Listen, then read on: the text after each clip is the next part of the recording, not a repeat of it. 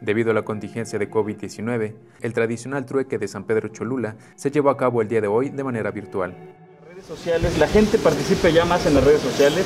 Hoy ahorita por el tema de la pandemia nos obliga a que participemos de manera directa, de que hagamos ese trabajo con los mismos ciudadanos y que los ayudemos. En este trueque participaron 150 empresas quienes ofrecieron sus productos a través de medios virtuales y la página de Facebook propuesta por los organizadores Trueque Virtual Cholula Oficial.